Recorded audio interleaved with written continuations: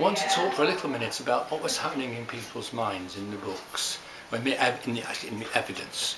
Again, You know, you read these statements by the witnesses, which are strange, biased and everything, but in particular what comes through is dark hints of what was going on in the minds of men in particular, also women in some ways, about sexuality and the secret sexuality.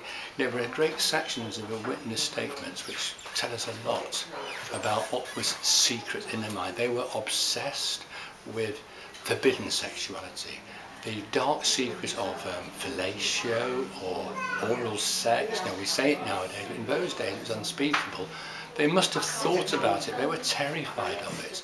And so lots of the accusations come through as blaming these women as being involved in these activities. The women, as I've already pointed out, never actually said themselves what they had done. They just said, yeah, I did that, yeah, I did that.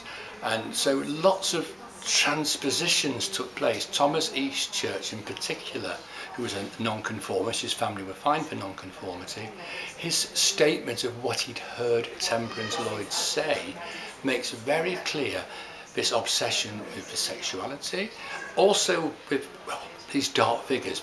The word black you know, occurs frequently, whether these people were small and black, or whether they were dressed in black, gentlemen dressed in black, and this, it's all very strange, Freudian and disturbing.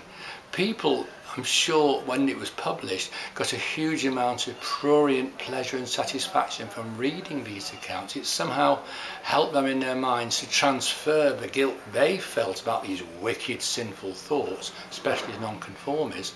It was transferred to the fault of witches. Witches were wicked witches, the wicked women who seduced, who led astray, who had a, a deformed sexuality.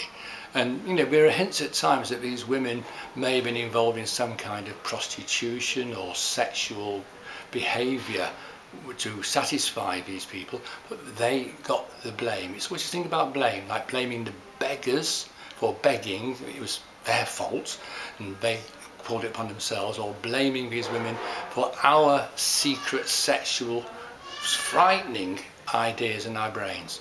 Mm, that's what seems to come through. It's so hard to understand what was going on in their minds 300 odd years ago, but there's very strong hints.